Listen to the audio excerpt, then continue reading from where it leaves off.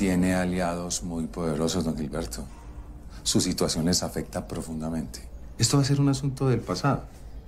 La entrega se va a dar, pero es cuestión de esperar. Es un asunto de tiempo. ¿Esperar a qué?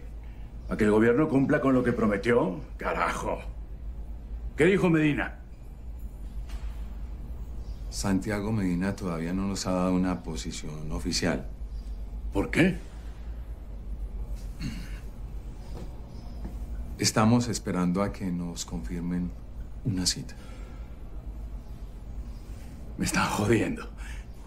¿No han hablado con él? Están esperando a que su oficina les confirme una cita.